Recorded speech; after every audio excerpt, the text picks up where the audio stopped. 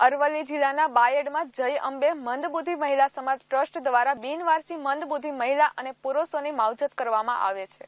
બાયડમાં આવેલ જય અંબે મંદબુદ્ધિ મહિલા સમાજ સેવા ટ્રસ્ટ દ્વારા માનસિક અસ્થિર મહિલાઓ તેમજ પુરુષોને આશ્રય આપવામાં આવે છે અને તેમનું પાલન કરવામાં આવે છે. અને ઘણા ખરા એવા કિસ્સાઓ પણ બન્યા છે કે આશ્રમમાં આવ્યા બાદ કેટલીક મહિલાઓ અને પુરુષોને પોતાની યાદ પાછી આવતા તેમના પરિવારો સાથે મિલન કરાવવામાં આવ્યા છે.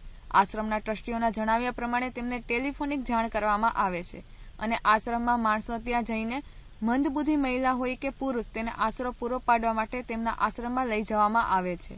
ત્યાં આવીને તેમને પહેરવા કપડાં, ચા, નાસ્તો, જમવા જેવી જરૂરિયાતો પૂરી પાડવામાં આવે છે. સ્વ ખર્ચે ચાલતી એકમાત્ર સંસ્થામાં કેટલાક દાનવીરો દ્વારા અહીં ભોજન કરાવવામાં આવે છે.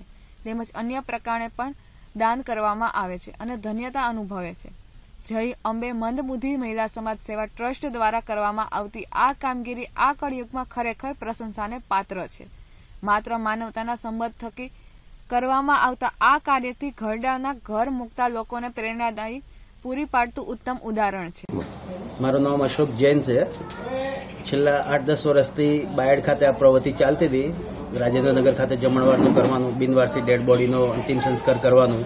અને અત્યાર સુધી લગભગ સિત્તેરથી એસી જણાને અમે પાલિતાણા બિનવારસી મંદબુદ્ધિ ભાઈઓને મોકલી આપ્યા છે. પછી ધીમે ધીમે એવું લાગ્યું કે બિનવારસી મંદબુદ્ધિ બહેનો માટે કોઈ આશ્રમ કોઈ છે નથી. અને એમની ખાસ જરૂરિયાત હતી.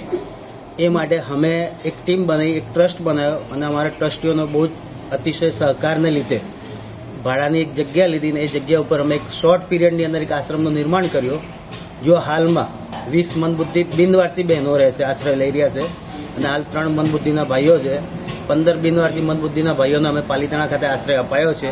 બહેનોની સંખ્યા વધવાના હિસાબે. એકસો એક્યાસી જે ગવર્મેન્ટની મહિલા અભિયાન છે, એમનું પણ અમને સહકાર સારામાં સારું છે. દરરોજ એમને બે ટાઈમ નાહવા, ધોવા, જમવાની બધી સગવડ સંસ્થા દ્વારા પૂરી પાડવામાં આવે છે. સમાજનો સાથ અને સહકાર ભગવાનની માતાજીની દયાથી ખૂબ જ સુંદર પ્રાપ્ત થાય છે. વ્યક્તિ સમાજના વ્યક્તિ દરેક વ્યક્તિએ આવીને મતલબ એમનો જન્મદિવસની ઉજવણી બીજી કરે છે. પરિવાર મિલન. અત્યાર સુધી આ સંસ્થા દ્વારા ચૌદ વ્યક્તિઓનો પરિવાર સાથે મિલન કરવામાં આવેલ છે. જેની અંદર એક ભાઈ સિકરના હતા રાજસ્થાનના જે છેલ્લા અઢાર વર્ષથી ખોવાઈ ગયેલા હતા અને અઢાર વર્ષે એમના પરિવાર સાથે આ સંસ્થા દ્વારા મિલન માતાજીની કૃપા અને સમાજના સાથ અને સહકારથી મિલન કરાવેલ છે. અને અત્યાર સુધી ભગવાનની દયાથી સાથ અને સહકાર સમાજનો અતિશય પ્રાપ્ત થઈ રહ્યો છે. પણ ઇન ફ્યુચર સમાજ આશ્રમ માટે એક જગ્યાની જમીનની જરૂરિયાત ઊભી છે કે હાલ ભાડાની જગ્યા છે અમારી જોડે. અને ભવિષ્યમાં જમીન વેચાતી લેવા માટે